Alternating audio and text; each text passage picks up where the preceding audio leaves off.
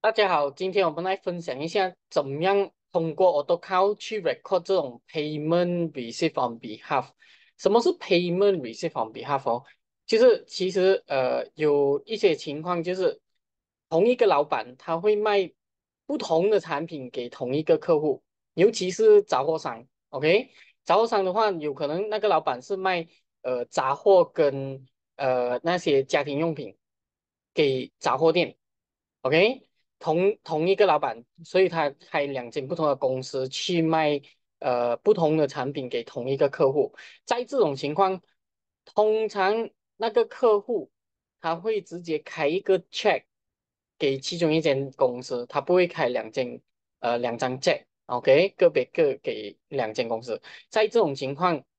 ，AutoCount 应该怎么样去处理这些 transaction？OK，so 呃，假设，OK，假设我们现在这里做了一个 example，呃，company A，OK，卖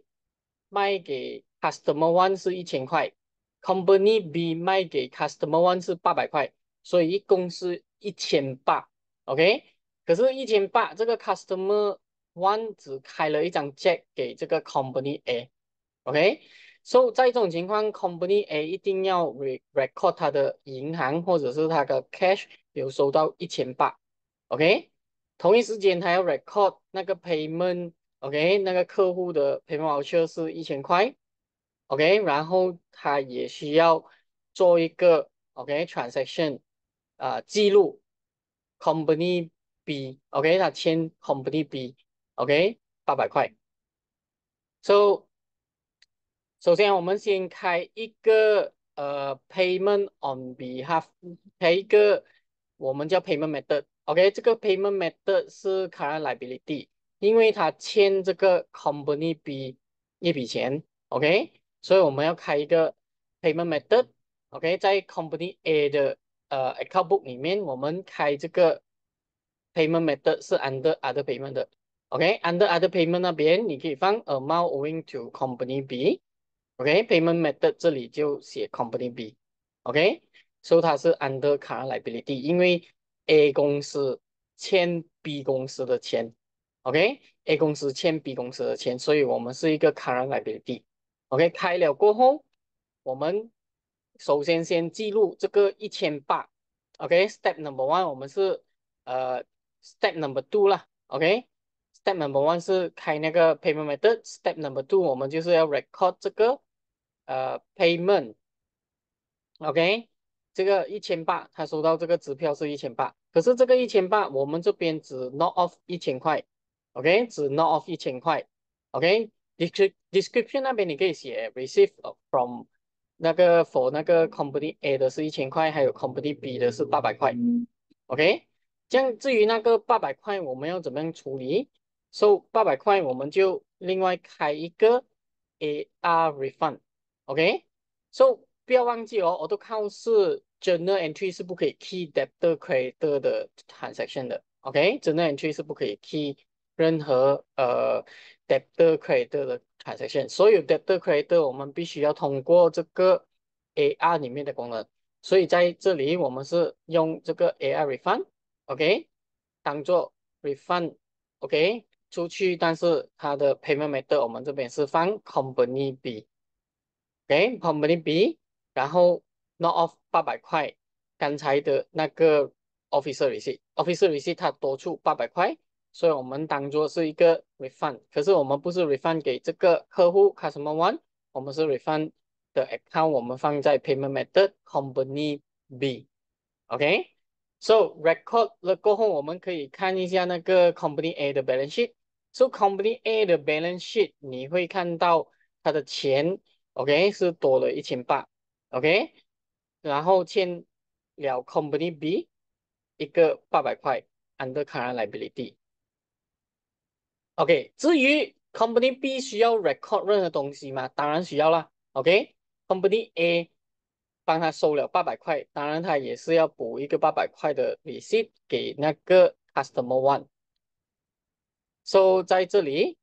你可以看到。OK，Company B 它必须要 record 这个 Company A 欠他八百块，同一时间他要 record 这个 Customer one 没有再欠他任何钱，要把那个八百块扣回出来。OK，同样的，Company B 也是要开一个 payment method 哦。OK，这个 payment method 是 current asset，因为是 Company A 欠他钱，所以叫做 amount owing by Company A。OK，是按照一个三零五的。OK，A 零零一，so payment method 这边简简单单打，就直接放 Company A 就可以了。OK，第二个 step 就是。要记录这个钱已经收到，钱收到，可是这个 payment method 不是 cash，不是 bank，OK，反而是 company A，因为 company A 拿了这个八百块，所以我们也是要 not off 哪一张 invoice 已经还了，OK，for 这个 customer one 的 invoice 我们 no off 了，它就没有 outstanding 了，OK，so 在我们的 balance sheet 我们会看到那个公司。Company A 的 currency，它有一个八百块，OK，欠这个 Company B 八百块，OK，在 balance 呃 Company B 的 balance sheet 我们会看到这个八百块。So 跟着下来就是看那个公司之间有没有呃 set 的那个 outstanding 啦，set 的那个 outstanding 就是 A 要把那个八百块还回给 B，OK，如果有还回给 Company B 的话，我们就需要在 Company A 那边开一个呃 payment voucher 咯，OK，还有 Company B 那边我们要开一个 receipt voucher，OK，来 offset 掉这个 outstanding 两两间公司之间的 outstanding，OK？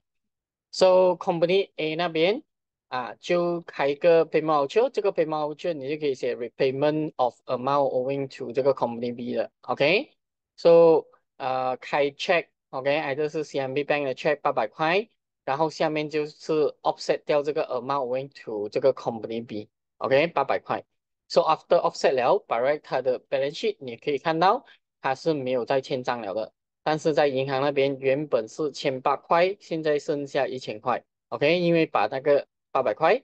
还了给 company B，OK，在 company B 的那边，of course 是要开个 official receipt，OK，或者是我们叫 cash receipt voucher。去记录，OK，receive 这个 payment amount owing by 这个 company A，OK，let's say 它是 bank 去 public bank，所以我们就进去 public bank 八百块，OK，下面这边就 amount offset 掉这个 amount owing by company A，OK，so 最后你看回那个 balance sheet，这个 company B 这边是 company A，它是没有欠他任何钱了，但是它的银行这边会多出八百块，OK。就是整个 process 就是那么简单，所以通过 AutoCount 的话，就算你不会呃很厉害做 account，基本上我们是很清晰的去 record 每一笔账目，OK，每一笔账目，OK，通过我刚刚的方法，你就可以做到怎么样去呃 record 这种 payment on receive on behalf 的这种 transaction。如果大家还有疑问的话，你可以 scan。啊，这个 QR code 联络我，我是 Mr. Law from SL Software Solution，谢谢大家。